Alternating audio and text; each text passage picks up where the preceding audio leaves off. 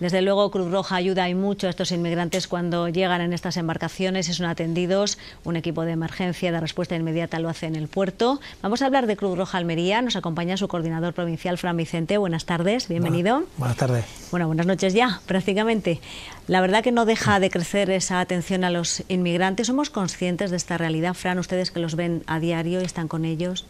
Desgraciadamente yo creo que somos conscientes, pero la verdad que al final es verdad que pasan los años y seguimos teniendo una cifra, el año pasado ya triplicamos la cifra del año anterior, este año ya llevamos un 30% más que el año anterior, con lo cual pues siguen viniendo, siguen viniendo en, en peores condiciones y por eso ocurren las tragedias como han ocurrido estos días.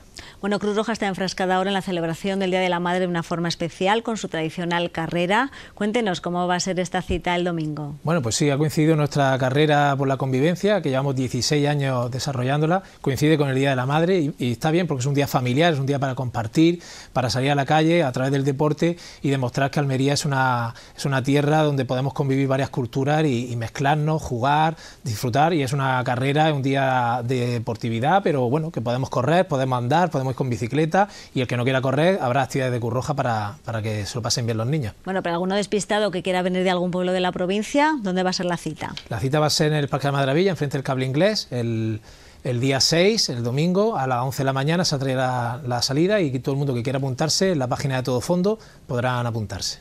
Bueno, también tenemos ya cerca, el mes de julio, que el tiempo pasa rápido, y llegará el sorteo del oro. Ya empiezan a hacer actividades ¿no? para recaudar fondos que siempre vienen bien. Sí, el Gran Sorteo del Oro es una, nuestra principal fuente de financiación privada, donde todos los almerienses pueden volcarse y colaborar con un pequeño boleto, y si encima tienen suerte, pueden colaborar con cinco euritos para toda la labor social de los más de 60.000 personas que nosotros atendemos al año en Almería, que están pasando penalidades, que son personas vulnerables.